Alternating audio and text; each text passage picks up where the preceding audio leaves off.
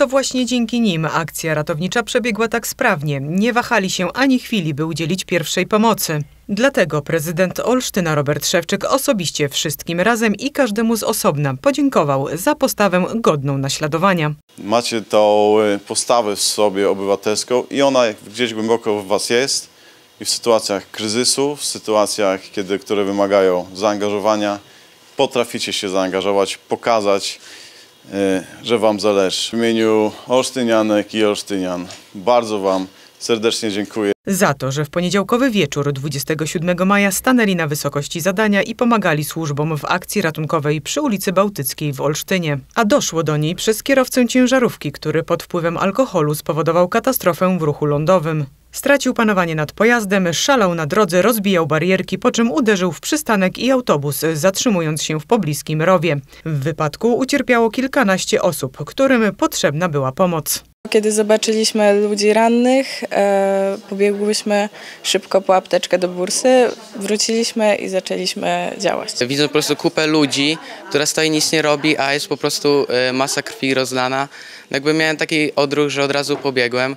I wspólnie z innymi mieszkańcami i opiekunami z bursy pomagali interweniującym służbom. Widać było, że e, chcą pomagać, że przede wszystkim umieją pomagać, że znają e, zasady pierwszej pomocy e, i nie boją się jej udzielać. To jest też bardzo ważne. Prezydent miasta Robert Szewczyk 4 czerwca w Regionalnym Centrum Bezpieczeństwa w Olsztynie w towarzystwie swoich zastępców, a także służb, które na co dzień dbają o nasze bezpieczeństwo w wielu jego wymiarach, nie tylko podziękował za odwagę i umiejętności bohaterom Olsztyna, nie tylko wręczył dyplomy i upominki, ale także obiecał bezpłatne karnety na tegoroczny jubileuszowy Green Festival. Jubileusz 25-lecia współpracy partnerskiej między Olsztynem i Offenburgiem w Niemczech uroczyście świętowali przedstawiciele obu miast 4 czerwca w historycznych murach olsztyńskiego ratusza. Już w 1981 roku nieżyjący Georg Dietrich, mieszkaniec Offenburga i filantrop, zapoczątkował w Olsztynie akcję charytatywną Most Bożonarodzeniowy. Już wtedy zrodziła się nić porozumienia między naszymi miastami, między mieszkańcami. Zbliżyliśmy się do siebie i wzajemnie sobie pomagamy. Cieszę się, że możemy świętować 25-lecie partnerstwa miast, które zostało zawiązane w roku 1999.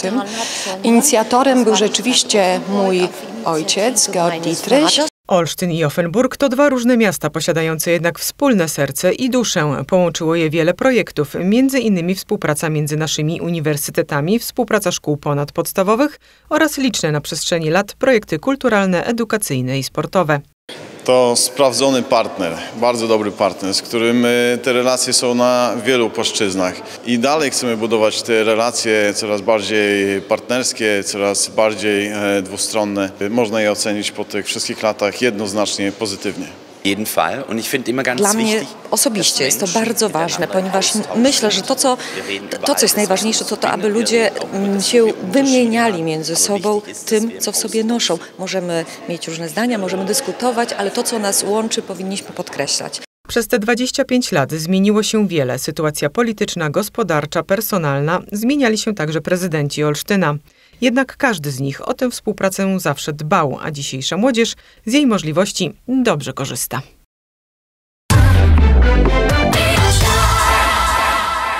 Moi drodzy, będziecie nad jeziorami w tym roku? W wakacje? To świetnie się składa, bo dzisiaj się nauczycie tego, jak nad tym jeziorem bezpiecznie wypoczywać. Jak się zachować i poznacie zasady bezpieczeństwa zdrowego fajnego wypoczynku nad jeziorem. Pokazy ratownictwa wodnego to jedna z wielu atrakcji festynu pod hasłem Bezpieczny Olsztyn na wodzie. Służby sięgają po wiele sposobów jak najbardziej ciekawego przekazu wiedzy profilaktycznej. Już od kilku lat przed letnimi wakacjami policyjni wodniacy wraz z ratownikami WOPR-u i Straży Pożarnej organizują pokazy instruktażowe. Przypominamy takie podstawowe zasady bezpiecznego wypoczynku nad wodą, e, ale nie tylko nad wodą, ponieważ rozmawiamy z nimi również o bezpieczeństwie w ruchu drogowym oraz o bezpieczeństwie e, w takich codziennych sytuacjach, na przykład w przypadku e, tego, kiedy zaczepi nas obca osoba. Relaks, rozrywka, sport, przygoda to nie wszystkie, ale na pewno nieodłączne elementy wypoczynku nad wodą i na wodzie. Korzystanie z różnych form wodnej rekreacji jest jednym z najatrakcyjniejszych sposobów spędzania czasu w Olsztynie. To nie dziwi, bo w mieście jest 15 jezior. Niezwykle ważne jest to, by korzystanie z nich było też jak najbezpieczniejsze. Dlatego podczas wydarzenia nie mogło zabraknąć pokazu udzielania pierwszej pomocy. Między innymi była prowadzona resuscytacja krążeniowo-oddechowa. Pokazywaliśmy to na manekinie, jak to robimy, jak to trzeba robić, że na początku pierwsze ratunkowe 5 oddechów, a potem taka sekwencja 30 uciśnięć klatki piersiowej, dwa oddechy i tak długo to robimy, dopóki nie pojawią się służby ratunkowe. W wydarzeniu udział wzięły dzieci z olsztyńskich szkół podstawowych wraz z nauczycielami, a czy ich zdaniem takie zajęcia są potrzebne. Myślę, że takie wydarzenia są potrzebne nie tylko przy okazji wakacji, ale przez cały rok, dlatego że dzieci w praktyce uczą się tego, co jest w życiu najpotrzebniejsze, czyli pomoc innym. Tak? jak się zachować w trudnych sytuacjach. Czasami nawet dorośli nie wiedzą, jak się zachować, a takie zajęcia uczą w praktyce, co należy zrobić. Jako wiedzę uczniowie wynieśli z tych praktycznych lekcji nad jeziorem Ukiel, jak ich zdaniem należy bezpiecznie zachowywać się nad wodą.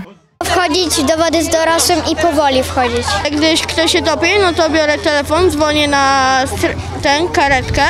Żeby właśnie dzwonić y, po 112 w jakichś przypadkach nagłych. A co na dzieciach zrobiło największe wrażenie podczas tego pełnego atrakcji festynu?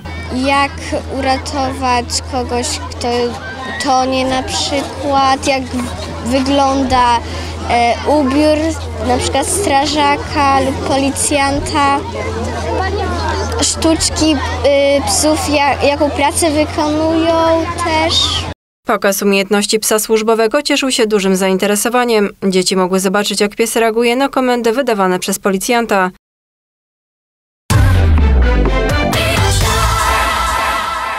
Pozostało tylko 10 dni na zagłosowanie w olsztyńskim budżecie obywatelskim. Ostateczny termin upływa 23 czerwca. Każdy mieszkaniec mógł zgłosić swój pomysł na zagospodarowanie przestrzeni miejskiej, a teraz każdy może zagłosować za zgłoszonymi projektami. To wspaniałe narzędzie, dzięki któremu sami mieszkańcy decydują o tym, jak będzie wyglądało ich miasto. Robert Szewczyk, prezydent Olsztyna, zachęca wszystkich do głosowania na wybrane projekty.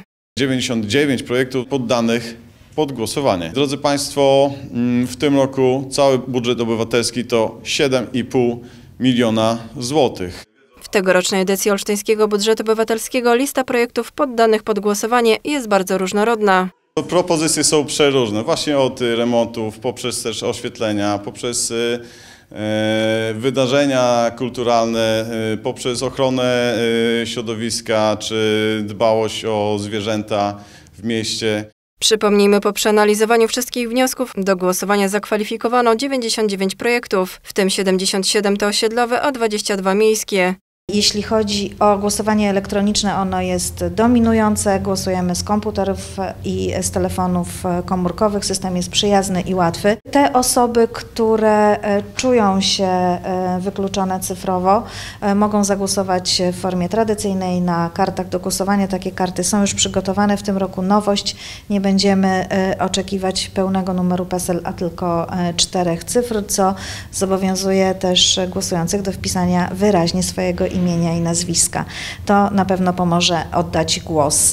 W tym roku do podziału jest 7,5 miliona złotych. Pula na projekty miejskie to 2 miliony 200 tysięcy złotych, a na osiedlowe zarezerwowano kwotę 5 milionów 300 tysięcy złotych. Lista projektów jest dostępna na stronie głosujobo.olsztyn.eu projekty.